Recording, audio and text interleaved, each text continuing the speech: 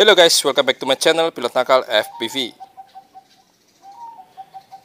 Oke, ini dia ada Recon 3 dan Recon 35 Kakak adik ya? Jadi Recon 3 ini uh, apa namanya baterai 1S ya. Cukup menggunakan satu baterai yaitu 18650 Dan Recon 35 ini menggunakan dua baterai. Dua gini guys, bukan gini, empat jadinya.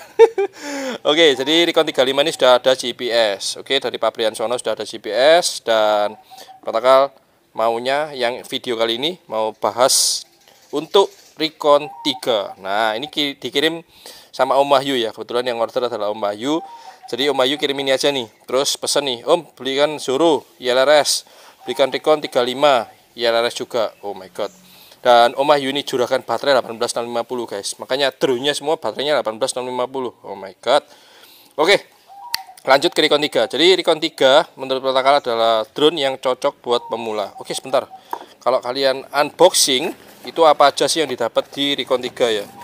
Jadi dapat propeller nih, cadangan.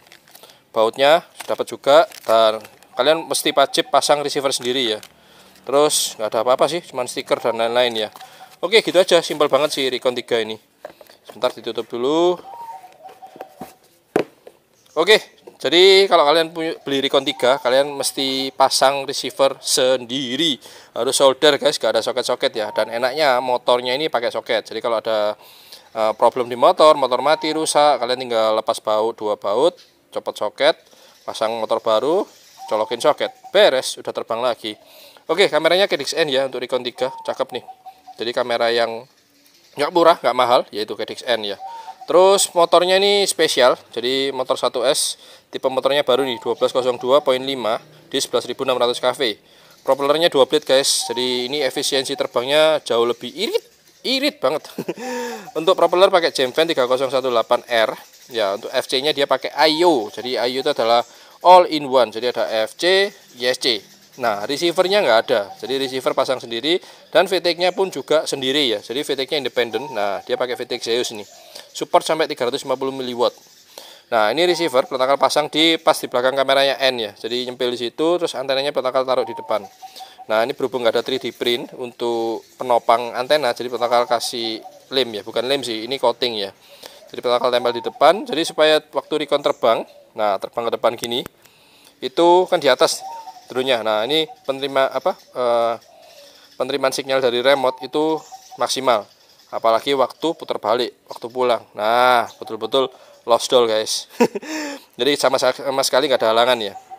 Sama nih seperti Recon 35 dari Pabrian tuh, lihat. Dia ditaruh di depan kan antenanya. Dan ini Recon 35 sudah termasuk receiver ILRS, tapi produk dari HGLRC ya. Dan antenanya cakep nih, Immortal T yang betul-betul kayak TBS nih. Nah, betul-betul kokoh kalau si ILRS sendiri ya kiwir-kiwir gini guys. Tapi nggak masalah ya. Oke, untuk antena VTX ini juga apa ya, jadi PR juga ya. Ini nggak ada ganjelan. Jadi kalau uh, nggak pas di tengah, agak ke kanan atau ke kiri bisa diajar sama propeller nih. Oke, buat teman-teman yang baru terjun ke dunia FPV, kalau uh, mau cobain ini, ini recommended banget sih. Jadi pakai baterai 1S 18650 bentar di kantong nih guys. Nah, ini pun dikirimin sama Om Ayu. Jadi Om Ayu punya stok baterai seperti ini banyak banget dan ini katanya baterai otentik yang oke okay banget ya. Jadi bukan abal-abal. Oke, dan teman-teman mesti diperhatiin ini ada 3D print yang aneh warna hijau, tandanya plus ya. Jadi menandakan bahwa plus di depan, minus di belakang. Jangan sampai kebalik, kebalik. Push. Wassalam. Ya. Jadi sebisa mungkin kita harap berhati-hati dan nggak gerusa-gerusu, nggak tergesa-gesa, nggak terburu-buru ya waktu menerbangkan drone ini. Oke, jadi ini hari apa ya tanggal 16 ya. Ini protokol buat video dan protokol sudah update firmware si FC ke beta flight terbaru ya yaitu 4.3.430 yang sudah official. Sudah bukan RC1 sampai RC7 bukan jadi sudah 430. Oke, terus uh, firmware ISC protokol sudah flash ke Blue J dan yang pasti terbangnya ya ada pengaruh lah, ada signifikan ada perbedaan ya. Oke, untuk radio master si Zoro ini Om Wahyu pesannya yang internal ILRS guys. Yuk kita nyalain. Welcome to HTX protokol juga uh, sekarang ini ganti suruh ya. Cuman protokol pakai yang JP4 in 1 oke untuk switch ya di sini protokol jelasin ini untuk armingum switch A ya nah. Ada soundnya juga. Jadi nanti uh, kalau bingung nyalain drone-nya eh nyalain drone-nya. Nyalain remote-nya dulu sambil dicetrek-cetrek. Oke ke bawah matikan motor. Ke atas mati, nyalakan motor. Yang ini mode terbang switch B. Yang tengah acro. Yang atas flip. Yang paling bawah angle. Nah speknya buat pemula pakai angle dulu ya. Jangan acro. Kalau udah bisa acro ya monggo langsung pakai acro. Oke dua switch itu ber berlaku buat si Recon 3 nah Recon 35 ada tambahan switch nih guys. Beeper. Buat beeper tapi beepernya nggak ada om. Dan ini GPS rescue. GPS rescue. Oke switch C untuk GPS rescue ya switch F untuk beeper ini nggak ada beepernya nih kayaknya. Iya nggak ada beeper nih. Cuma ada GPS nya aja. Jadi produk Recon ini cakep ya. Ini kameranya aja ratel ya yang itu Cadix N. Di harga 2 jutaan yang ini yang ini hampir dua setengah. Oke Recon. Dan yuk langsung coba terbangin si Recon 3 ya dan ini kabel-kabelnya guys. Mesti diikat ya. Ya namanya juga apa waktu terbang kan kita nggak tahu ada kendala apa ya. Oke pemasangan baterai minus di belakang dan plus di depan. Jadi buat teman-teman yang belum tahu 18650 yang rata ini minus. Dan yang ini plus. Kalau ini dilepas stikernya ini agak cekung ke dalam terus keluar lagi ya. Oke, kita cobain si Recon 3. Maaf ada basic suara gerinda ya, jadi mungkin bocor. Di tetangga ada yang gerinda-gerinda tuh nggak selesai-selesai dari pagi. Oke, ini udah kecolok baterai dan tadi adalah instrumen dari Pacman. Tanggal namanya itu sih. Oke. Nah, arming dan kita lihat performa Recon. Lost dulu ya. Wanjay. 18650 guys. Ini drone pakai baterai 18650 edan dan buat teman-teman yang nonton ini bukan drone aerial ya.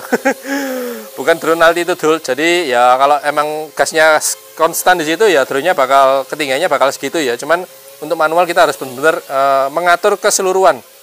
Mulai dari ketinggian terus manuver ya semuanya harus dikontrol secara bersamaan nih. Tuh lihat. Oh enak guys pakai suruh nih guys. Dan untuk rate-nya Pletakal kasih rate buat pemula ya, ini Om Ayu. Jadi yang pesan-pesan paket RTF ke Pletakal itu Pletakal kasih rate-nya yang nggak terlalu galak. Jadi biar nggak kelimpungan nanti waktu belajar. Ini dulunya mau ke mana sih? Oke, jadi ini adalah Recon 3 yang suaranya uh walus guys, suaranya guys. Oh, enak guys. Suaranya guys. Oh my god. Ini dekat banget sama pilot akal nih. Suaranya kalian dengerin?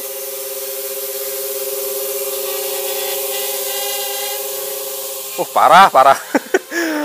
racun, racun. Oke, kalian tertarik bisa cek link pembelian di bawah video ya. Ntar akal landing di sini dah, langsung FPV aja. Oke, landing di kotaknya Recon. Gimana nih landing di kotaknya Recon? Wih.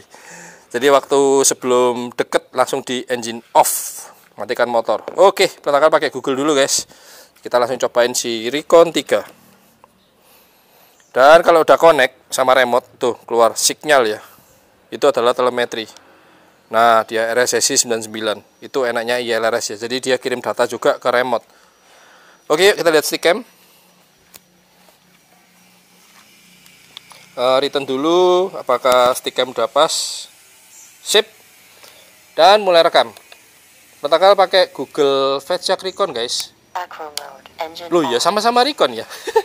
Oke, ini ya Om ya. Jadi waktu di disarming belum engine on itu VTX di R425. 25 artinya 25 mW. Tapi tapi waktu dia arming dia langsung berubah guys 350 mW.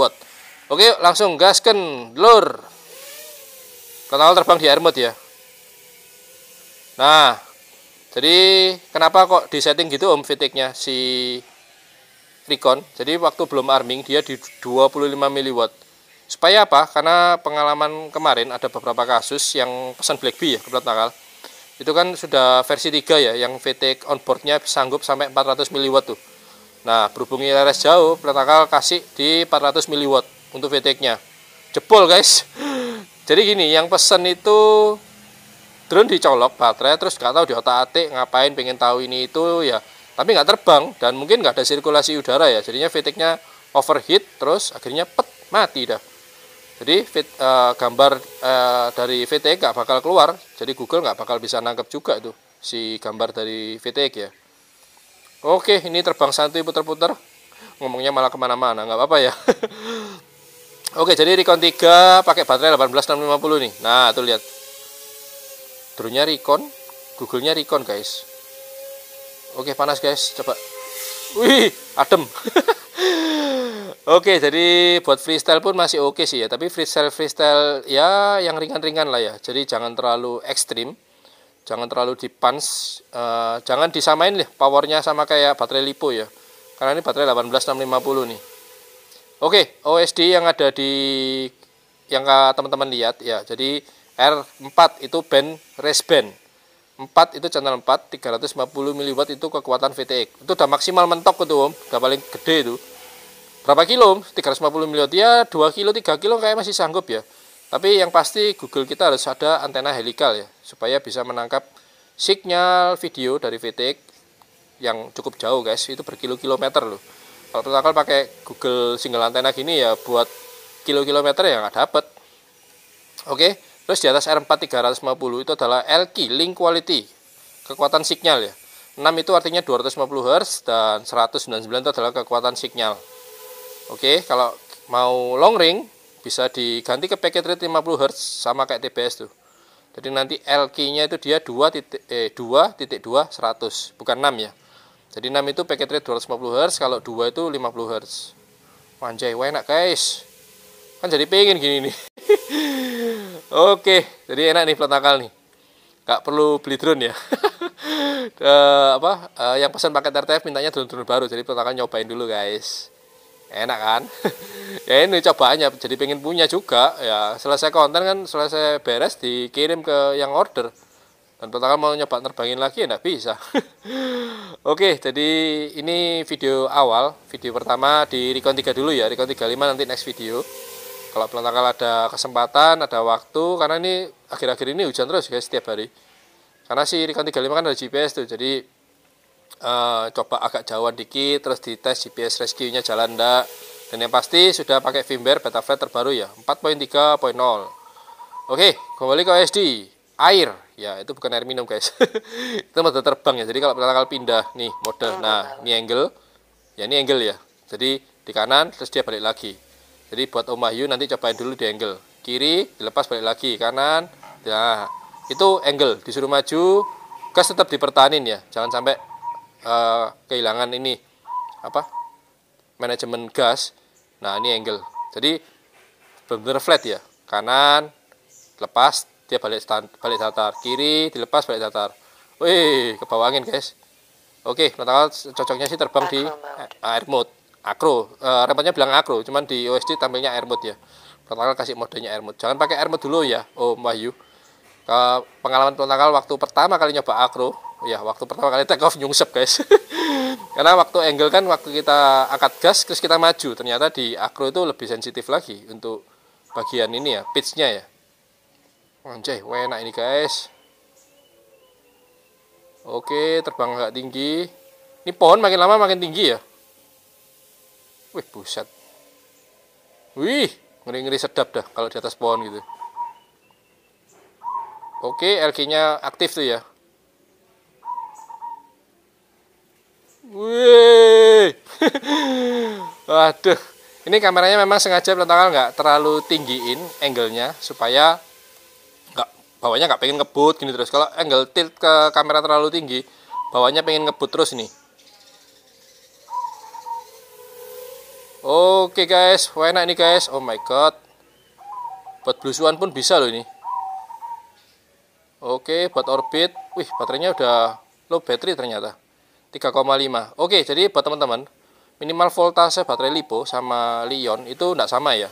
Kalau lipo di 3,5 itu harus landing dah. Tidak ada kompromi dah. Nah kalau untuk Lion itu bisa sampai di 3,20 ya. Karena ini kan satu S jadi protokol tampil ini uh, di OSD hanya satu sel aja tuh 3,5 volt ya.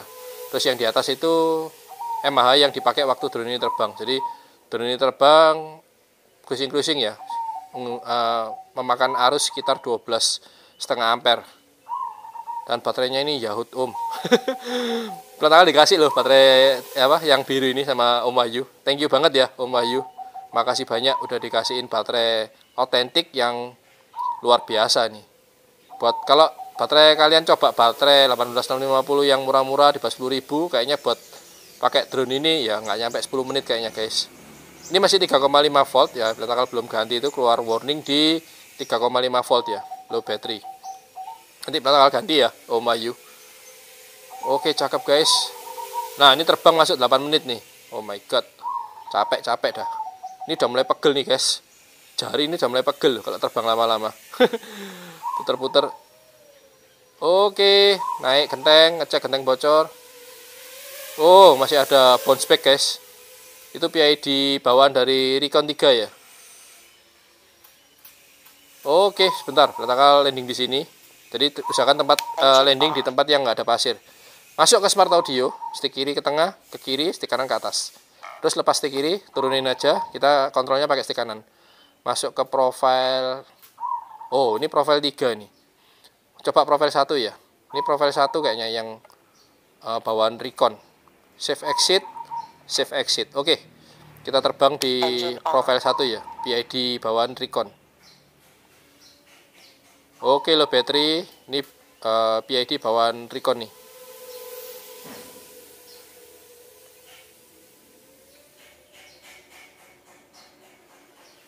Oh, lebih parah. oke, jadi itu PID bawaan dari Recon. Kalau cuman buat cruising-cruising sih udah oke ya. Cuma tadi waktu dia habis dari atas turun terus diangkat gas ini bounce back ya dia ya bergetar. Ketek ketek ketek ketek ketek gitu. Oke bentar coba lagi naik tinggi and nah itu dia. Ada ketar-ketar cinta. Oke ini PID bawaan Recon 3 ya. Bentar pelakal ganti lagi profilnya ke profile set 2 nah profil 2 ini PID bawaan Betaflight 4.3 stick kiri ke tengah pojok eh stick kiri ke tengah terus ke kiri stick kanan ke atas. Masuk smart audio profile kita pindah profile 2 biar cepat stick kiri ke tengah terus ke kanan. Kemudian stick kanan ke bawah save and exit. Mulai arming lagi dan ini PID profile bawaan 4.3 default ini guys. Default PID firmware 4.3.0 ya aduh malah nggak enak ini oke okay. Ma, jadi yang enak play ID profile 3 ya, ntar protokol benerin dikit. Oke, coba ya buat manuver ya. Set. Nah, itu lihat. Dia ada shakingnya ya. Aduh. Oke, ganti ke PID profile 3. Langsung. And take off lagi. Nah, ini lebih enak, guys.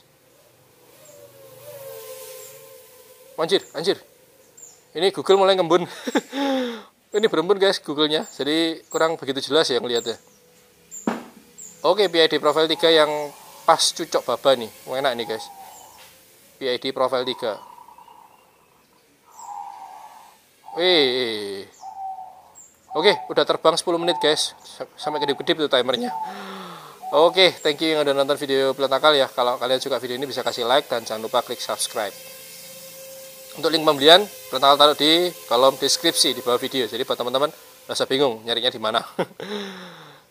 Oke, 10 menit guys, powernya masih ada terus ini. Memang baterainya benar-benar Yahoo ini om. Eh, pulang pulang pulang pulang pulang pulang.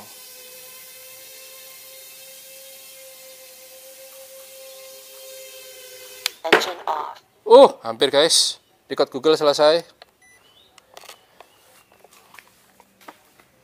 Tuh lihat. Maunya sih landingnya di sini loh tadi. Tidak bisa. Oke. Suruh rekomendasi dari pilot nakal. Cakep nih gimbalnya presisi, akurat dan mantep lah pokoknya suruh ini ya. Google bebas sih guys. Kalau ini Yahoo enak nih. Kalau udah selesai ya tinggal cabut aja baterainya. Wih, cakep. Baterainya hangat suam-suam kuku, nggak panas loh. Gile. Baterai Samsung 18650 20S. Keren keren. Oke, okay, thank you, thank you.